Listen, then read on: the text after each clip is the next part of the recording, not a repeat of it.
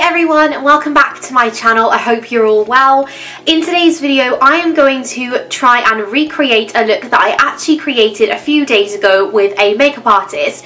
Um, the makeup artist was Sophie from Bella Beauty in Cardiff and she was offering Skype and FaceTime lessons um, for two hours to kind of learn your own face and create a look of your choice.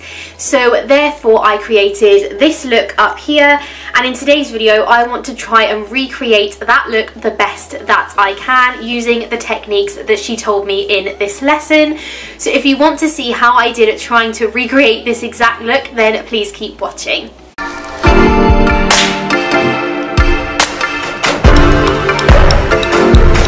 Okay, so first I'm just going to give my face a spritz with my Prime and Perfect from Primark.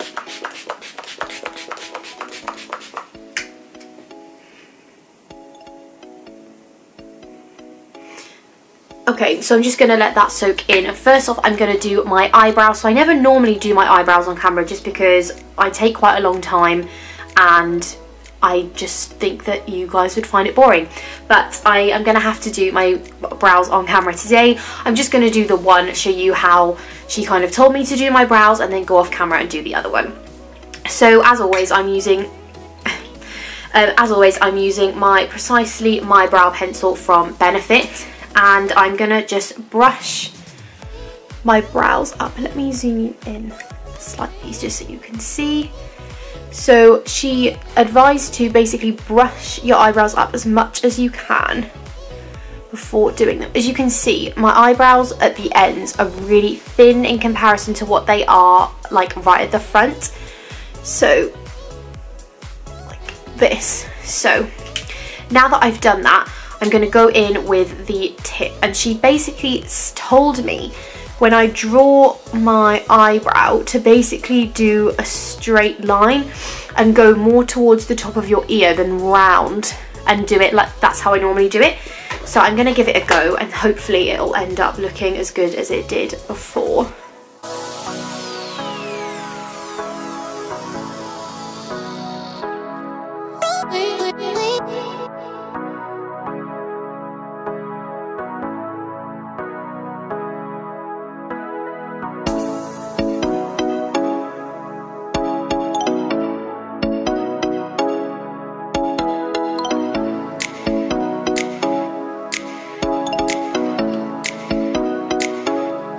Okay, so I just need to go in then with my full proof powder just to fill in the gappy bits here at the front.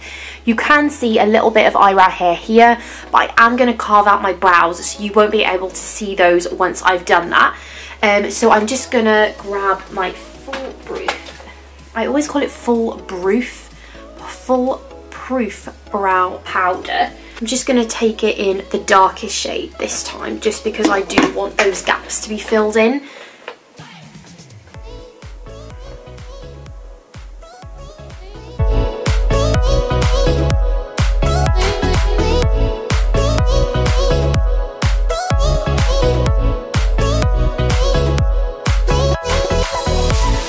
Okay, perfect. So the one eyebrow is done. It looks really crazy right now just because I haven't done the other one. So now what I'm going to do is the, exactly the same process off camera, come back and then I'm going to start carving out my brows. Okay, so now that I've done my other brow, I also just wanted to say that I also went in with this product. This is the Gimme Brow from Benefit, just to like brush the hairs up and make them stay in place so it kind of makes them look a bit more sort of full and like bushy. I look crazy. But next then we're going to carve out my brows. As you know, if you've watched other makeup videos of mine, you will know that I never do this, ever. I've never carved out my brows and I, yeah, I just never used to do it. But I felt like after this lesson you could see as soon as I done it how much more definition it gives gives your eyebrows and like kind of pulls your whole face together at the end. So I'm just going to use, um, as always, my Pro Base Full Coverage Concealer from MUA. I'm just going to put a tiny bit on the back of my hand. Like this. So literally have just put that amount on. And then just with a flat kind of Puzzle brush. Like this is a stain from the concealer from Tuesday. I'm just going to go into my brows and carve them out. So I will just zoom you in slightly just so you are able to see. Probably won't be able to talk much through this because it takes some serious concentration.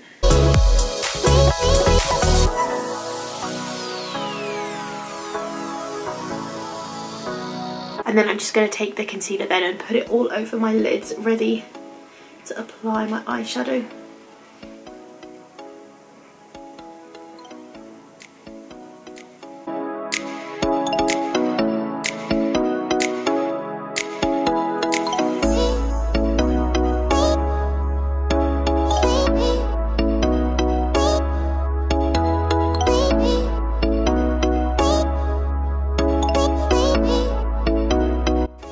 Okay, so my concealer is now on my eyes. It's not looking as flawless as it did the other day purely because my eyes are so dry.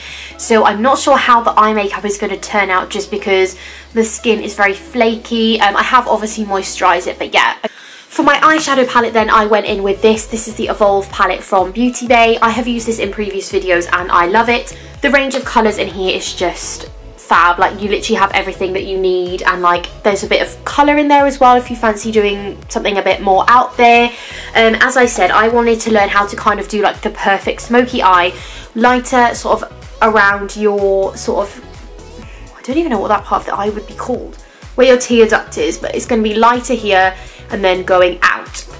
Okay so I'm firstly going to go in with this colour here this colour here this is like a reddish brown colour. And all I'm going to do with that is just pat it from the corner halfway up and then all over that kind of side of the lid. So this um, process is called loading.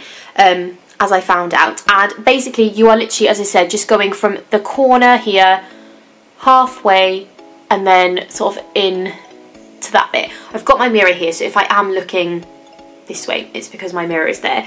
So I'm literally just going to dab my brush into that colour, tap off any excess, and I'm just going to press the colour on. You're literally following as well the, the like the line in your eyes, the where your eye naturally creases.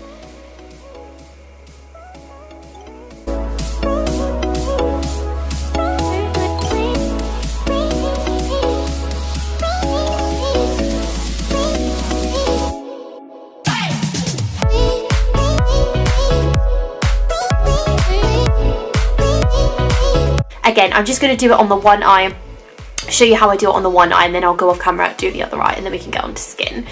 Um, just because otherwise we'll be here literally all day.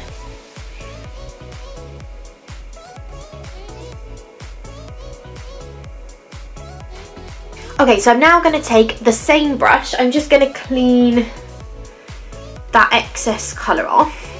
And then I'm going to take this brown colour here and just dab my brush.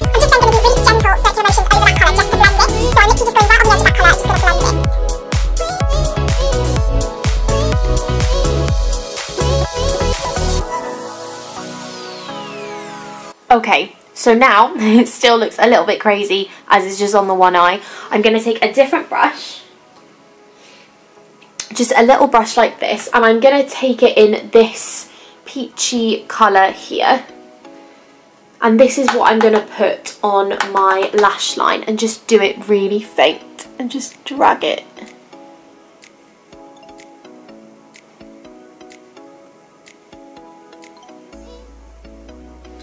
Gonna take my concealer brush again, pop a tiny bit of concealer on the back of my hand again. And I'm literally just gonna take it from here to the like over until over half of my lid.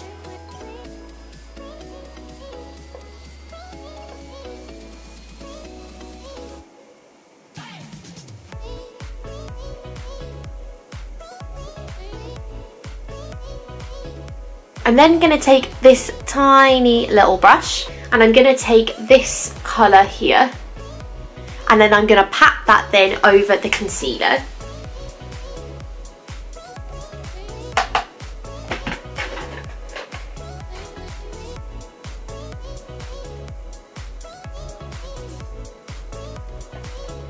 Okay, so now that I've added the lightness in the corner and blended the shadows, I'm now just going to stick some lashes on. And then after that then I'm going to go off camera, do the other eye, clean up underneath all my eyes so that they look relatively normal and then we'll get onto my foundation. So the lashes that I am going to be using are these. These are Doll Beauty. I think these are Gloria style. I will double check. Um, but these are just a really nice like big lash. So I'm going to, as I said, chuck my lashes on, go off camera, do the other eye, sort out the under eye, and then I will be back. Okay, so lashes are on. I feel like this eye look hasn't turned out probably exactly the same. I feel like the darker brown is definitely more prominent than the reddish brown in this look. However, I have managed to do like the light inner corner and yeah, I'm not mad at it to be honest. I think it's turned out okay better than I expected. I thought it was just going to be a hot mess and that it was just going to look really dreadful. So for skin then I said that I wanted to go for a really dewy looking skin. That is my go-to whenever I do my foundation. So I just wanted to see if there was anything I could do differently or any products that I could use differently in order to get really dewy skin. Um, so the first thing that we used was some sort of serum or oil. So I used my Ole Henriksen Truth Serum. So I'm just going to use that now. I literally just use like a pea-sized amount and just use my hands then to rub this into the skin. This just gives it a really nice like shine underneath my foundation and it smells really good and it's really good for my skin as well. Really like nourishing.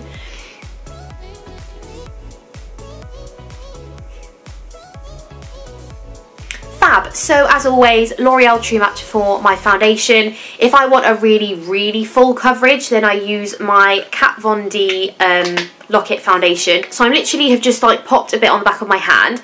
As always, then I'm just gonna put this in like dollops all over my face.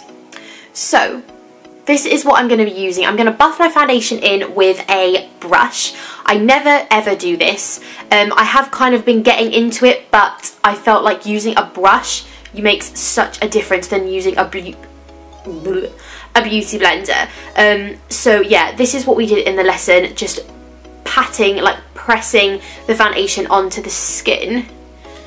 And honestly, you can tell the difference by doing this to using a beauty blender.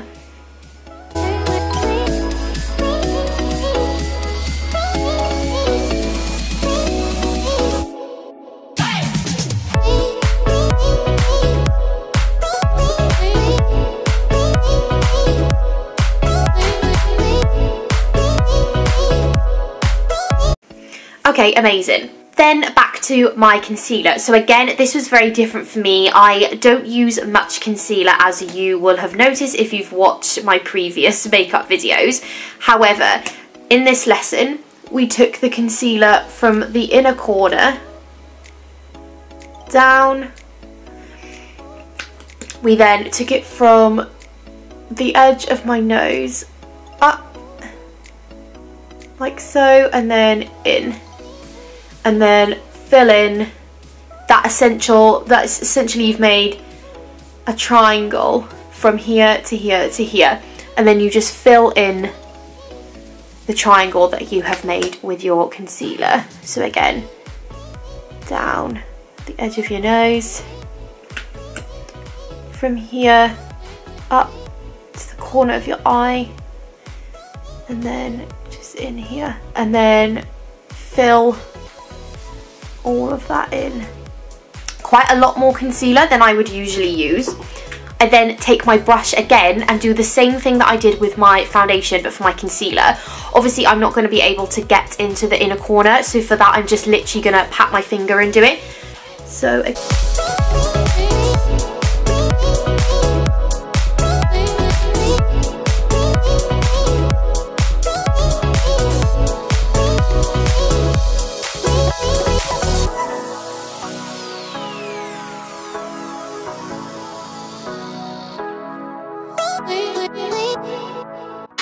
Okay, amazing. And then I'm literally just going in then with my finger to pat in the rest.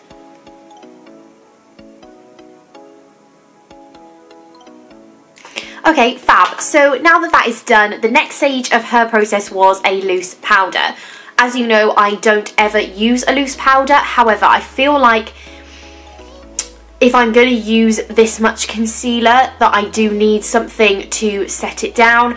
I have done quite a large order on Feelunique so stay tuned for that one. There'll be lots of different products in there but one of the products was a loose powder and now I am just going to leave it as it is um, and go into bronzer. So again I'm using my Too Faced bronzer. This is my favourite, it's the nicest colour and I just really like it and I'm actually using this with the brush that I usually use for highlighter.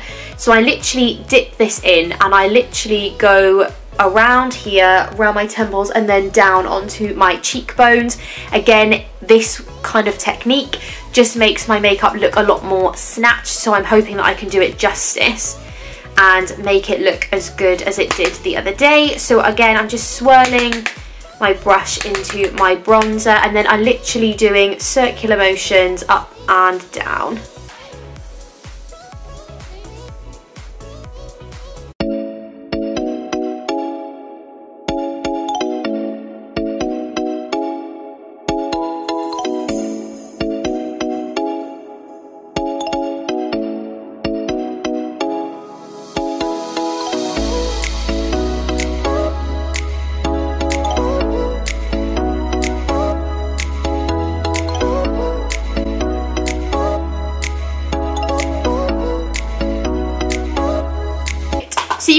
There that that has just given my face instant colour. My face looks healthy, it's glowing, it's just really, really nice. I really like that technique actually because as I said, it kind of pulls everything together. It doesn't look too over the top, like you aren't literally covered in bronzer. It's just, yeah, it just looks really nice. I am so glad that I've kind of learned that from her because that is something that I'll definitely be incorporating into my makeup routine going forward. Next then it was highlighter. Um, so I am going in with my Illamasqua uh, Beyond Powder because this is my favourite. So I actually used this brush to do my highlights just because my usual brush I had obviously used to do my bronzer.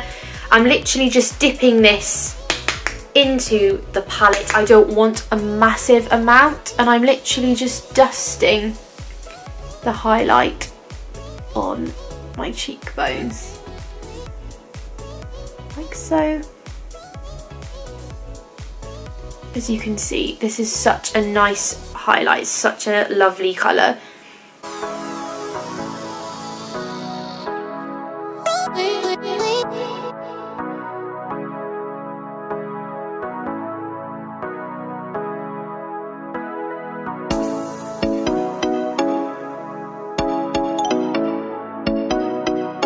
Now for this makeup I didn't actually use any blusher so this was kind of it for skin. So I'm now going to go in and finish off my under eye. So taking my Beauty Bay palette, I'm literally just dabbing my brush in that kind of burnt red orangey kind of colour and very lightly just running it under my lash line. So.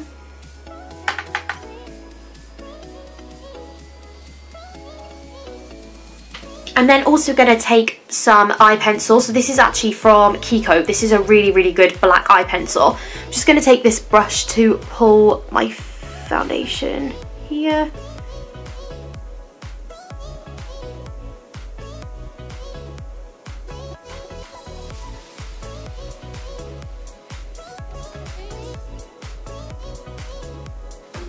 And then lastly then for the eyes I'm just going to take my mascara and do my bottom lashes.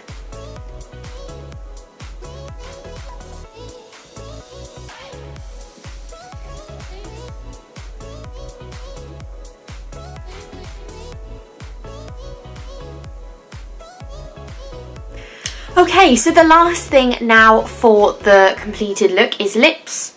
I'm just going in with my usual combo, my Primark combo lipstick and lip liner. So I'm just going to line my lips quickly.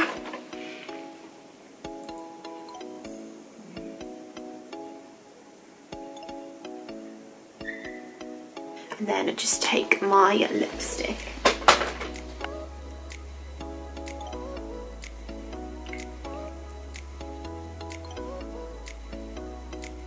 Finally then I'm just going to go back in with my Prime and Infuse, not Prime and Perfect, Prime and Infuse spray from Primark.